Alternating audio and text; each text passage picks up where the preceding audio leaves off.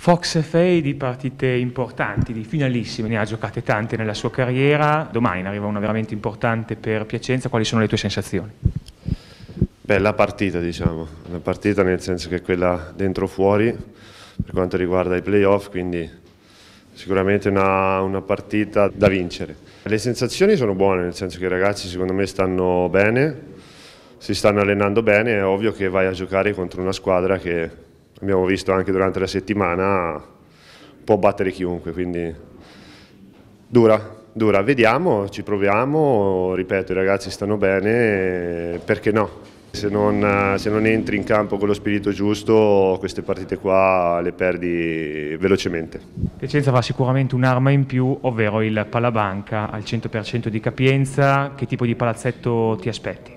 Il palazzetto pieno è un unicum questa stagione anche l'anno scorso, quindi eh, non ci saremo abituati, eh, dovremo rivivere quelle sensazioni lì, sicuramente saranno sensazioni positive, mi auguro veramente che eh, Piacenza risponda a questo appello, anche perché è una partita eh, senza domani.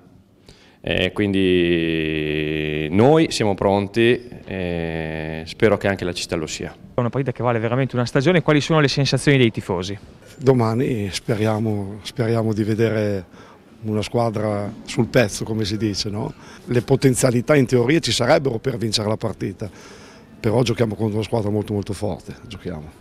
Piacenza quest'anno ci ha fatto vedere degli alti e bassi, no? perde con squadre medie, però va a vincere a, a Civitanova, a vincere a Modena. Nel, nel pallavolo non si, non si sa mai, nello sport non si sa mai, perciò Speriamo, dai, speriamo di, di, fare una bella, almeno di fare la bella figura, come nelle, nelle Final Four. Quello che è certo è che sicuramente ci sarà un palabanca vestito a festa, il 100% di capienza, non succedeva da diverso tempo. Eh, bella cosa, prima volta quest'anno, prima volta da tanto tempo, speriamo, almeno che sia una bella festa, insomma, di, di divertirci, speriamo.